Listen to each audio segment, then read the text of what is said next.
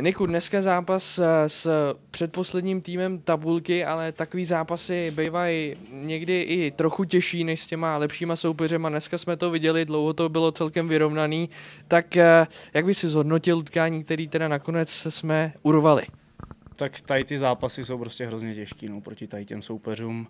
Samozřejmě v dnešní době už umí každý bruslit, takže eh, je to prostě o těch věcech, o těch detailech a myslím si, že furt, furt je tam od nás hodně chyb. A samozřejmě jsme rádi, že jsme vyhráli, ale myslím si, že furt je co zlepšovat. No.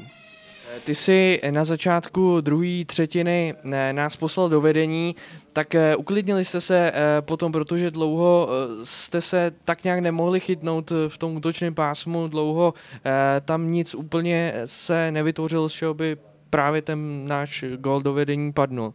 No, abych řekl pravdu, tak uh, já jsem moc klidný nebyl, protože tady ty zápasy nemám rád a fakt nevíte do poslední chvíle, co se stane.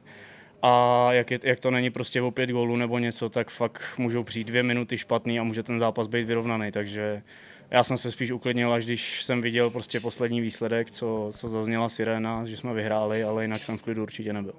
Eh, ty jsi měl ještě jednu nebo dvě eh, docela zajímavé šance. Ehm, lituješ třeba to, že šlo z nějakou z těch šancí udělat trochu něco jinak líp? Jo, tak vlastně všechny, všechny šance, co jsem měl, tak prostě musí končit gólem. To mě neomlouvá, o to jsem tady, abych prostě dával góly a, a mám to tam do prázdné brány a bohužel to nejsem schopný trefit, no, takže určitě, určitě tady s tím jsem taky nespokojený.